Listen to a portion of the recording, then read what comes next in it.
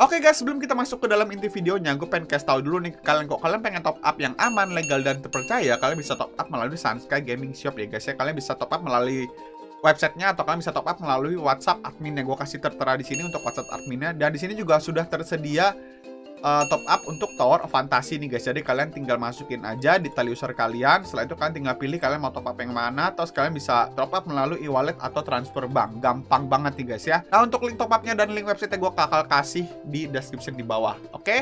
So tunggu apa lagi? Kalau kalian pengen top up, kalian bisa top up melalui Sunsky Gaming Shop guys. Halo semuanya, kembali lagi dengan gue Thomas di channel gue Riko Kucing and welcome back di video gue nih guys ya Dan ini dia salah satu game MMORPG baru yang ringan nih guys Nama gamenya adalah Land Hero Sword Land of Hero Sword. Nah, uh, akhir-akhir ini juga lagi nggak ada game MMORPG yang menarik banget pandangan gue ya. Jadi gue bakal coba review game ini dan ini katanya servernya udah server global ya. Jadi kalian udah bisa coba mainin juga. Tapi sayangnya globalnya itu base-nya tuh di Cina ya. Gue juga kurang paham. Jadi ini global atau Cina gitu guys. So far kalian mau download gue kasih link di bawah nanti guys. So far kita coba langsung gameplay seperti apa. Di sini servernya baru ada satu ya, S1 Kraken.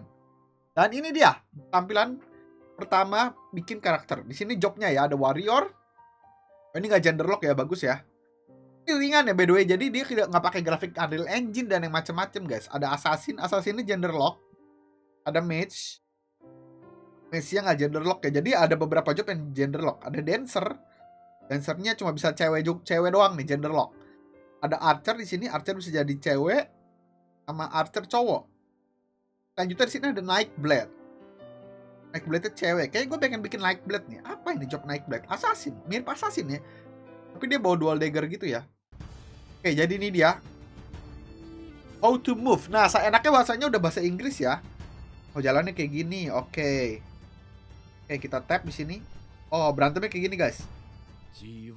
Kita masih ini ya, tutorial. Nah, ini kita battle apa? Oh, kayak gini, guys.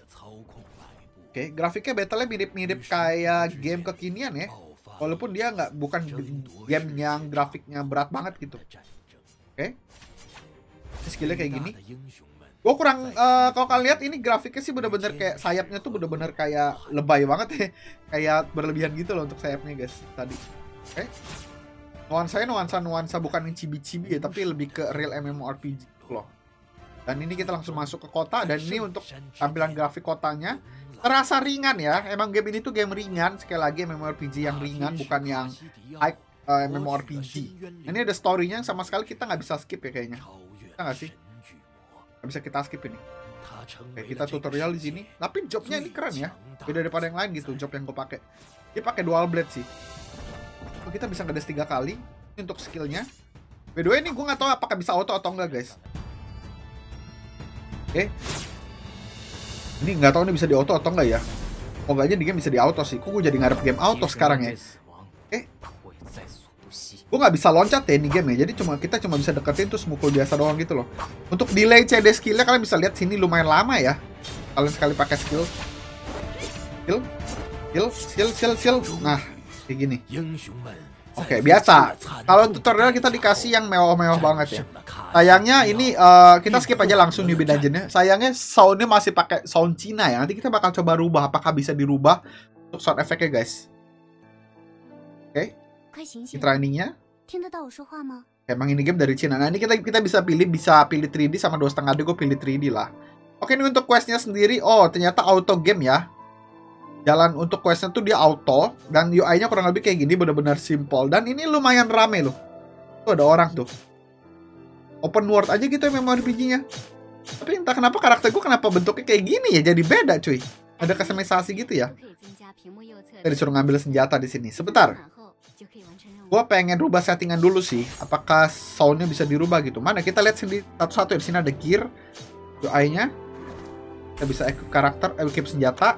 Terus ada skill, familiar, explore, mana kita mesti buka dulu. Nah, grafiknya kita rubah ke high. FPS-nya kita rubah ke high juga. Dan efeknya kita nyalain aja, nggak apa-apa. Oke. Terus uh, kita masuk ke uh, game. Oke, kurang lebih untuk UI game kayak begini ya. Others tidak bisa dirubah ya untuk soundnya ya. Grafik doang nih. Tone sama sekali kita nggak bisa rubah nih.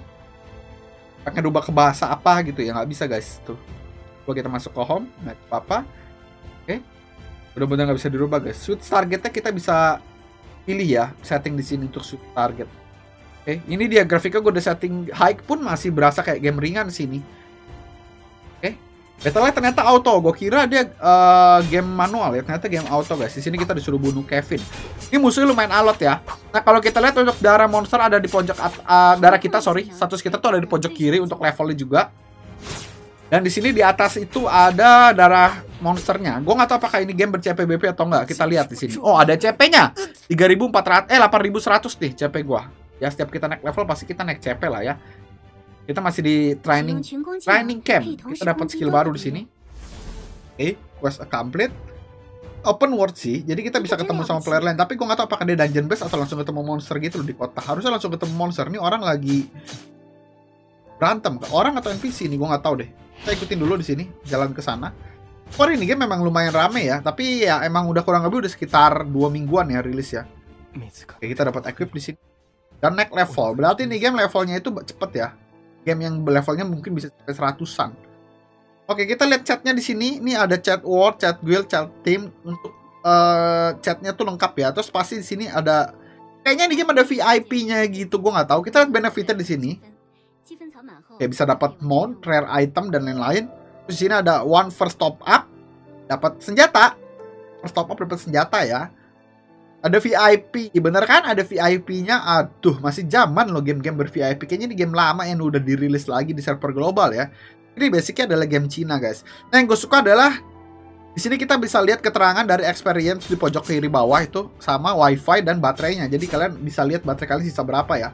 Gak semua game bisa dilihat kayak gitu loh sekarang untuk uh, baterai kita sisa berapa dan lain-lain guys ini ada redeem code juga oke okay. kita bisa redeem redeemin ini diamond shop ya redeem code diamond diamond shop kayaknya. Dalam auto di sini. Tapi autonya pertama doang ya tapi pas nge-skill kita mesti mukul mesti mencat ini. Coba kita ikutin lagi guys. Ya gue naik udah 10 ribu nih. Biasa ini game pasti pay to win banget sih. Game pasti pay to win banget kalau udah kayak gini guys. Untuk bahasanya sendiri ada yang masih belum stabil ya, ada yang bahasa Cina-nya juga, ada yang masih bahasa Cina, ada yang udah bahasa Inggris gitu. Kayak gambar diamond di atas tuh itu bahasanya masih bahasa Cina, guys. Nah ini untuk gue ngerasa monster ini berasa alot-alot ya, bukan yang monster yang gampang dibunuh ya. Segini sih menurut gue alot sih. Kita ikutin story-nya dulu. Story-nya kayak lumayan panjang ini game.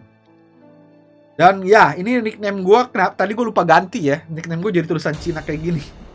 Anjir jelek banget sumpah. Oke, ini tampilan newbie pack-nya kali, newbie baju newbie-nya kali ya. Masih di training camp by the way. Ini ada menu dungeon ya, berarti nanti bakal bisa dungeon, event, PVP, title, ada guild juga. Jadi kan bisa bikin guild di sini. Apalagi ya, kita ikutin dulu di sini. Wah, lawan naga. Oke, lawan naga di sini ya. Oke, here we go. Gimana cara lawan nih, guys? Waduh, kenok mau gue. Dia terbang-terbang mulu, cuy. Kurang.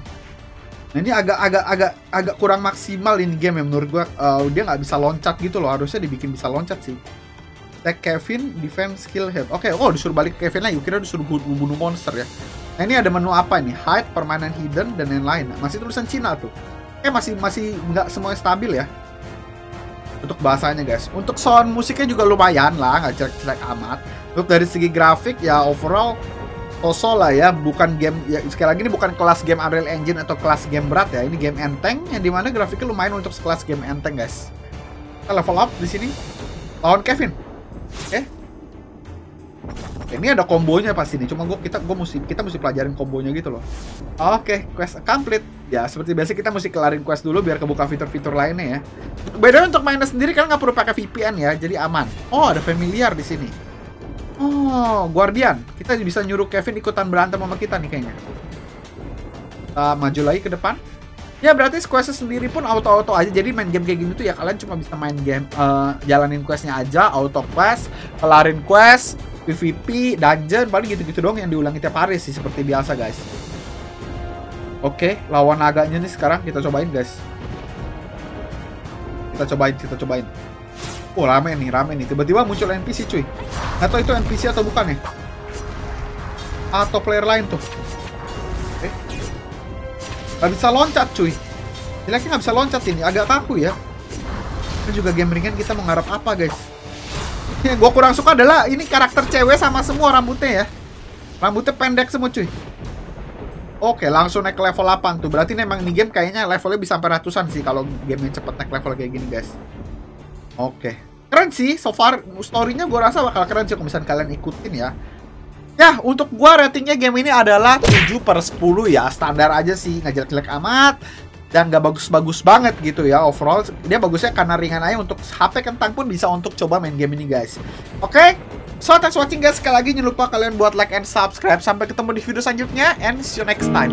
Bye-bye.